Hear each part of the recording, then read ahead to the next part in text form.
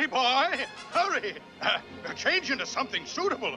Can't meet your future bride looking like that. But I have met her, Father. Yeah, you have?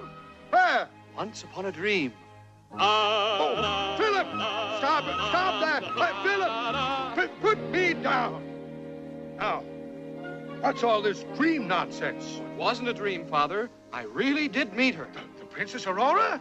Good heavens, we must tell Stefan. Why, this is the most I, I didn't say it was Aurora. You most certainly did. You you said that. I said I met the girl I was going to marry. I don't know who she was. A, a peasant girl, I suppose. A peasant g- girl? You're you're going to marry a. a- Why, Philip, you're joking. Uh, Isn't he? No, you can't do this to me.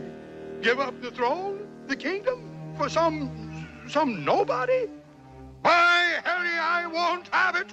You're a prince, and you're going to marry a princess. Now, Father, you're living in the past. This is the 14th century. Nowadays. Nowadays, I'm still the king, and I command you to come to your senses. And marry the girl I love. Exactly. Goodbye, Father. Goodbye, father. Marry the girl you. No, no, no, no, Philip.